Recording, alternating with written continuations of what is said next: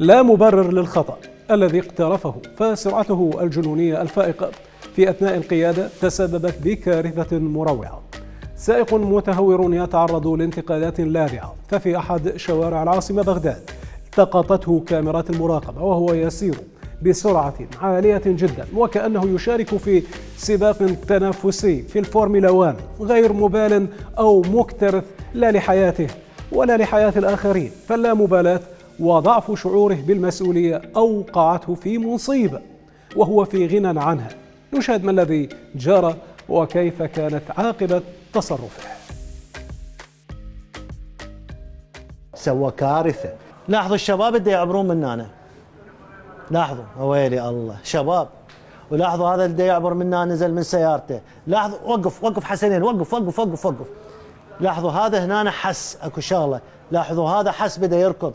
الشباب هنا تفاجئوا تفاجئوا بمن بأبو الأكسنت اللي يمشي سرعة؟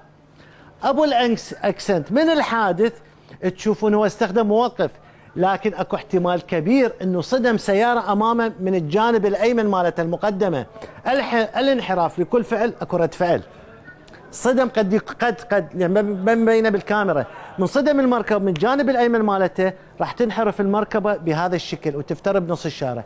لاحظوا بسبب السرعة الشديدة وهي سيارة خفيفة اللي صار شنو؟ خليني أشغل بالبطيء. شغل بالله حسن. لاحظوا لاحظوا اللي صار. لاحظوا كم سيارة صدم؟ سيارتين ودهسته شخصين. واللي بصف السيارة هنا هذا انهزم من هنا ضرب السيارتين قد يكون صدم سيارة أيضا أمام العلم عند الله وقد يكون استخدم الموقف وحاول ينحرف ويتفادى دهس باعه حاول ينحرف لاحظوا اللي صار؟ شوفوا الاصطدام. هذا هذه الكارثة اللي صارت. ليش السرعة؟ ليش السرعة؟ شنو الفائدة هسه اثنين انتقلوا إلى رحمة الله وثلاثة شنو الفائدة؟ أنت سويته شنو؟ بس فهمني شنو؟ انت اللي ارتكبت خطأك انت. انت تسوق سيارة وانت إيش قد عمرك؟ إلا إذا كنت بعدك صغيرون ما أدري بعد.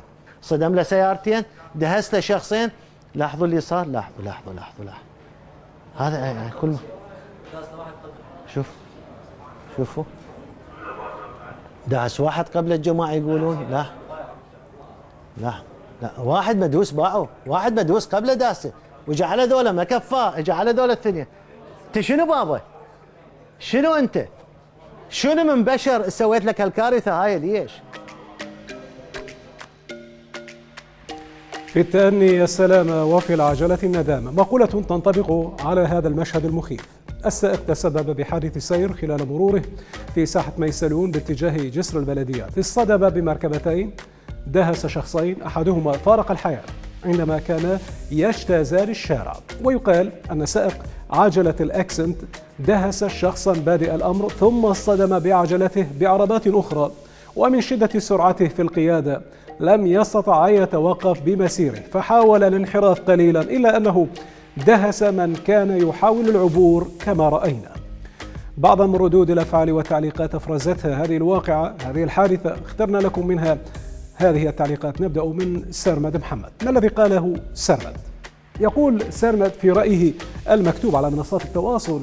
الصراحة اللي بالشارع حاليا أنطيك نسبة 70% سياقتهم عبارة عن تهور وعدم التزام واحترام وعدهم أهم شيء التباهي. ماكو قانون يردع هيجي نماذج تعبانة. أيضا هناك تعليق من نبض. يقول نبض أو تقول نبض. حرامات هيك نماذج تسوق سيارات لك جاك هيك سرعة. وليل يعني الرؤية توصل 20% عن النهار. الله يرحم الشباب المتوفين ويصبر أهلهم. احترق قلبي عليهم. أيضا تعليق من رياض يقول كل الدول تستخدم رادار إلا العراق. هو هيك أرواحنا بلا معنى والسائق مو المفروض يعاقب ويسجن ويتأدب على فعلته. بس وين أكو قانون؟